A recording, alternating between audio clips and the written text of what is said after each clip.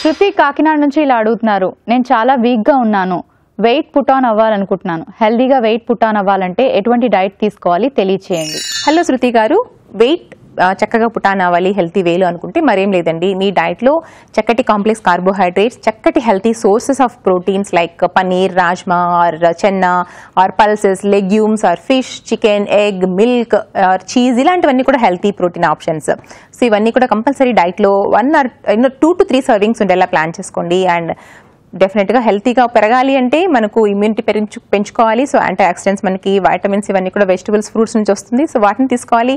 And ఇంకా మీ you know హెల్తీగా వెయిట్ పెంచుకోవటానికి నట్స్ అండ్ నట్స్ బాగా హెల్ప్ చేస్తుంది. సో రోజుకి ఒక టెన్ క్యాషూస్ అండ్ అలాగే ten almonds and four to five pista ఒక స్పూన్ ఆఫ్ పంప్కిన్ సీడ్స్ ఇలాంటివి కూడా యాడ్ చేయండి. మరి ఇవన్నీ తీసుకుంటూ ఉంటే ఓవర్ ద టైం డెఫినెట్గా వెయిట్ పెరుగుతారు కదా?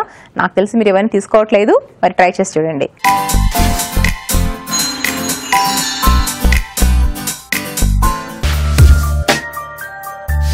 శ్రవంతి కడప నుంచి ఇలా అడుగుతున్నారు. నా ఏజ్ ట్వంటీ సెవెన్ ఇయర్స్ నాకు ఫేస్ మీద అలాగే తలలో చిన్న చిన్న పింపుల్స్ లాగా వస్తున్నాయి.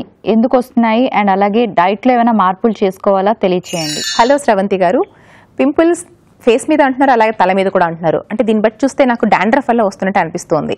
సో డాండ్రఫ్ ఎప్పుడైతే తలలో ఎక్కువగా ఉంటుందో ఆ స్కాల్ప్ అవి పొట్టు మన ఫేస్ మీద కూడా పడినప్పుడు కూడా అలాంటి పింపుల్స్ వచ్చే అవకాశం ఉంటుంది. సో ఫస్ట్ మీరు అలా ప్రాబ్లం ఏదైనా ఉంది అంటే దాన్ని క్లియర్ చేసుకోండి. అండ్ హైజీన్ మెథడ్స్ని కంటిన్యూస్గా ఫాలో అవ్వండి. Like washing your face and hair regularly. And ఫేస్కి సోప్ పెట్టకుండా మీకు ఫేస్ యూనో క్లెన్జర్స్ దొరుకుతూ ఉంటుంది లిక్విడ్స్. సో వాటితోటి ఫేస్ని క్లీన్ చేసుకోవడానికి ట్రై చేస్తూ ఉండండి.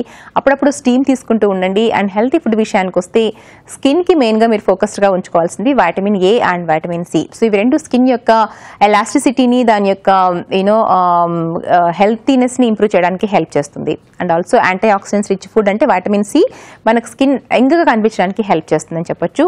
అండ్ ఇంకా గుడ్ ఫ్యాట్స్ కూడా మనకు చాలా హెల్ప్ అవుతుంది. సో దీనికోసం ఈ రోజు అవిసె గింజలు అలాగే నువ్వులు ఇలాంటి హెల్తీ ఫ్యాట్స్ని తీసుకుంటూ ఉండండి. డెఫినెట్గా ఈ ప్రాబ్లం కొంతవరకు తగ్గుతుంది.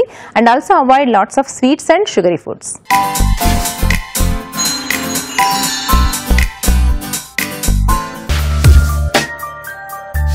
Bhavana ఇలా అడుగుతున్నారు. నాకు టైప్ టూ డయాబెటీస్ ఉంది. ఎటువంటి ఆయిల్స్ తీసుకుంటే కుకింగ్లోకి మంచిది తెలియచేయండి. హలో భావన గారు. సో టైప్ టూ డయాబెటీస్ ఉన్నప్పుడు కాదు ఆయిల్స్ ఎప్పుడు కూడా హెల్తీగా తీసుకోవడం మంచిది. అండ్ పర్టికులర్గా మీ విషయానికి వచ్చినట్టయితే మీరు ఏం చేస్తారంటే ఒక్కొక్క వారం ఒక్కొక్క టైప్ ఆఫ్ ఆయిల్ని యూస్ చేయండి. లైక్ ఆలివ్ ఆయిల్ ఒక వారము పీనట్ ఆయిల్ ఒక వారం sunflower oil one week so ఇలా ఆయిల్స్ని చేంజ్ చేస్తూ ఉండండి. బట్ ఏ ఆయిల్ వాడుకున్నా సరే రోజుకి మూడు టీ స్పూన్ల వరకు మాత్రమే పరిమితం పెట్టుకోండి. అది కూడా రీఫైండ్ ఆయిల్ వాడకుండా గానుగ నూనె వాడుకుంటేనే శ్రేష్టం.